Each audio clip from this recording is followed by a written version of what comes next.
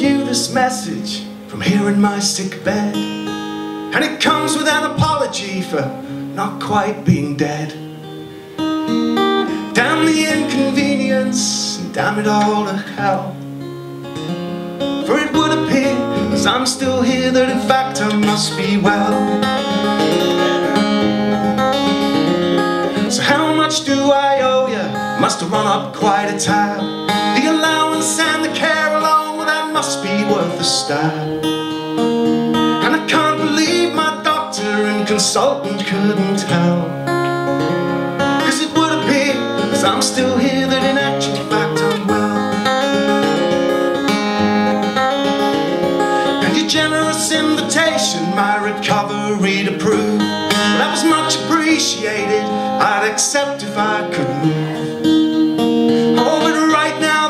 Not happening, and it's often hard to tell. From day to day, there's just no way. Still, it's great to know I'm well. So the next time that I'm able, I'll go out and I'll get a job that I can go to now and then to earn an honest bob. There'll be no more scrounging off the state, and I've a plot that I could sell.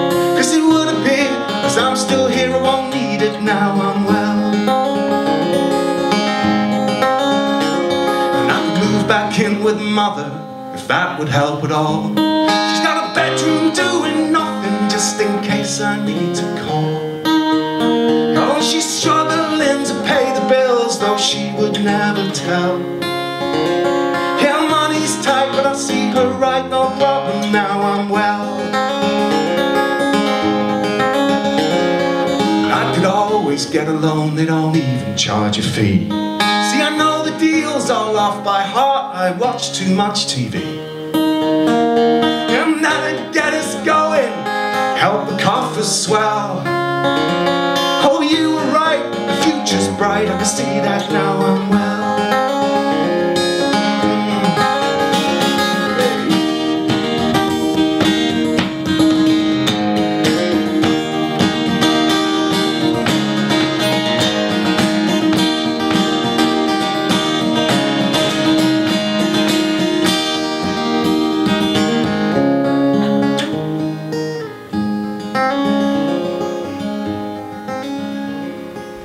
Guess better go now, but not before I say Thanks for the kick I needed just to help me on my way.